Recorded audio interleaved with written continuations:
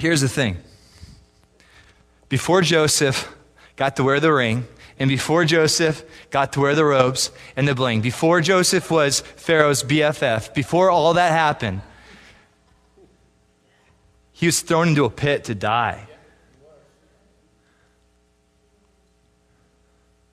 And then he was rescued only to be sold as, as a slave. And then he was, he was falsely accused of a sex crime, of coming on to Potiphar's wife. Falsely accused, falsely thrown into prison. For 30 years, Joseph is just going through one after another, after another, after another, just unfortunate circumstances, you know? Oh, whoops. A 30 year poop storm.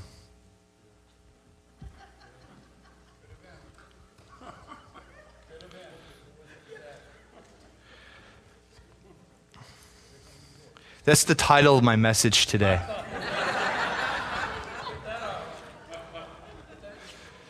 Now, yeah, most of us, most of us, if this is us, we're like, man, God, what's the deal? You know, we're like, how could this be?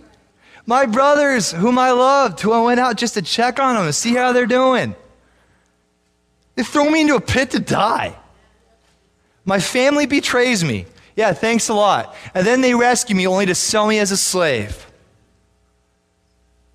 And then, then, I, then as a slave, I, I have all this favor, and my master's wife thinks I'm hot.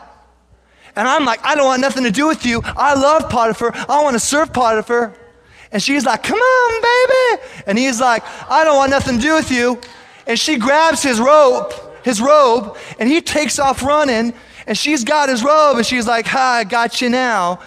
Potiphar comes home, believes his wife, which we should all, all husbands, we should believe our wives.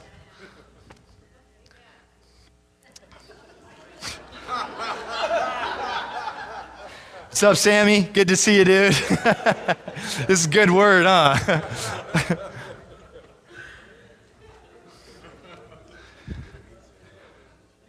How did he do it? Most of us, we'd be like, you know what? Screw this.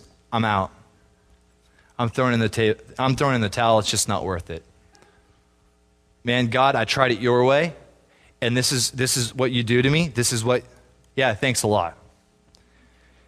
And Joseph would go to church and, and hear, Our God is such a good God. You know, can you imagine Joseph's response? Joseph's response was not bitter. Joseph's response was not, I bet he's a good God. No. Joseph hangs in there. Why?